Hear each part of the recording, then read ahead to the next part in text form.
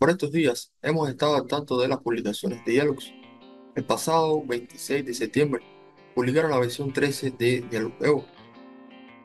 Y casualmente ayer, 9 de octubre, publicaron el primer parche de esa versión, que por supuesto en este vídeo voy a mostrar todo el proceso de instalación. Buen día, mi nombre es José Manuel y me complace darte la bienvenida a otro video tutorial sobre Dialux Evo. Bien, ahora nos encontramos en el apartado de descargas de la página de Dialux y desde aquí es donde tenemos acceso a la última versión publicada de Dialux Evo. Como puedes ver es el parche número 1 y bueno, fue publicado el 9 de octubre del 2024. Ahora, para descargar esa versión, debemos hacer clic aquí en descargar ya el juego. Y después de transcurridos unos segundos, debe comenzar la descarga. Bueno, ya hemos finalizado la descarga y ahora aquí nos encontramos con el parche número 1 de Dialogeo 3.0. Y para comenzar el proceso de instalación, hacemos clic derecho y ejecutamos como administrador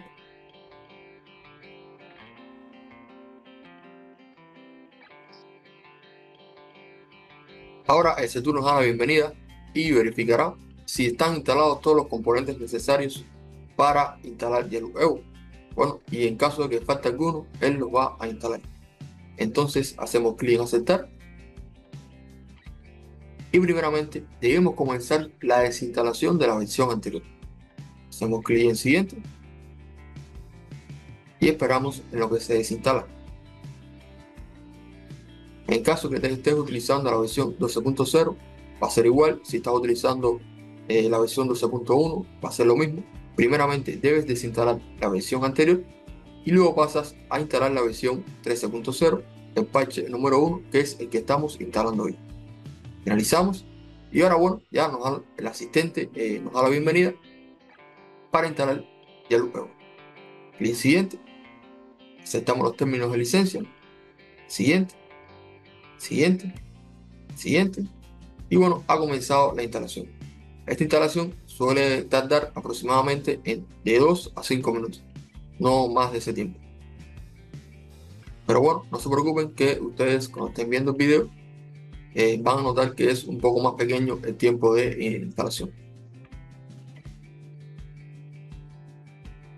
Bien, la instalación ha terminado, se ha completado y hacemos clic en finalizar. Ahora, para ver si nuestra instalación fue exitosa, debemos abrir un proyecto.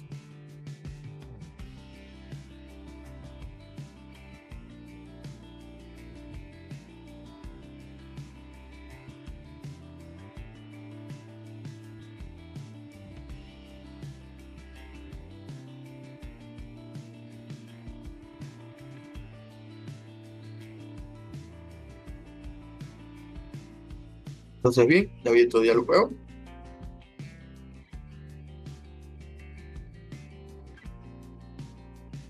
al parecer abierto sin ningún problema. Y ahora vamos a verificar si no ocurre el error que bueno que les, les mostré cómo solucionar en el video anterior. Y vamos a descender hasta opciones de guardado y vamos a marcar la opción integrar plano proyecto. Ahora vamos a tratar de guardar nuestro proyecto. Y listo, lo ha hecho sin ningún problema. Por lo tanto, podemos afirmar que el problema que existía con la primera publicación de la versión 13.0 que al momento de nosotros guardar nuestro proyecto y teníamos marcado esta opción nos da un error ha sido solucionado en este parche entonces muchas gracias al equipo de Dialog por dar respuesta a este problema bien rápido entonces bueno por mi parte ha sido todo por hoy y si quieres conocer un poco más acerca del error que te hablé anteriormente te invito a que veas este video